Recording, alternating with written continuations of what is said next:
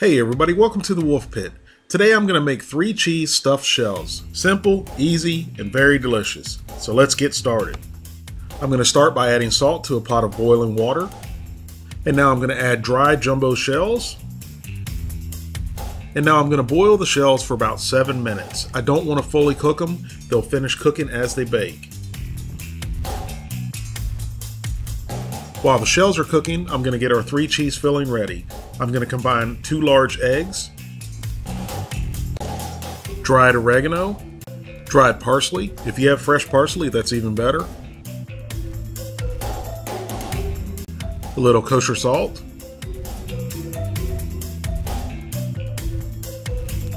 Black pepper. Ricotta cheese. Parmesan cheese, and finally mozzarella cheese.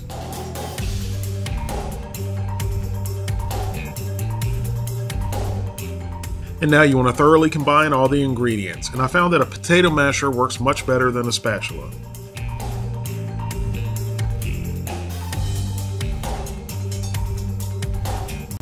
And now I've drained the partially cooked shells.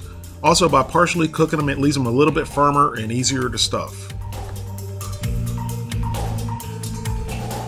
And now I'm going to stuff each shell with a heaping tablespoon of the three cheese filling.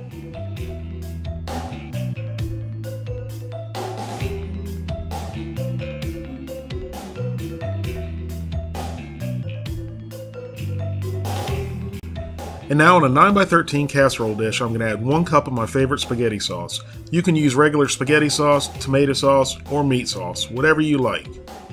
And now I'm going to lay out all of the stuffed shells on top of the spaghetti sauce.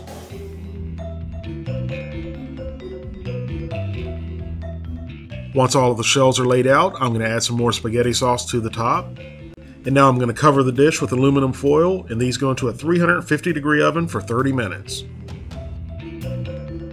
After 30 minutes in a 350 degree oven, remove the aluminum foil and add a light layer of mozzarella cheese.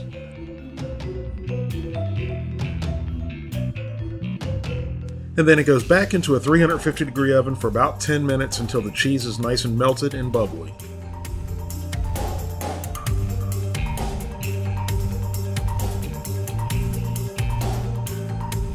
And you should let this cool for about 10 minutes before serving, but we couldn't wait. And that's all there is to making three cheese stuffed jumbo shells. If this looks like something you'd like to try at home, please give me a thumbs up. Thank you all very much for watching. I hope you give this a try, and I'll see you next time.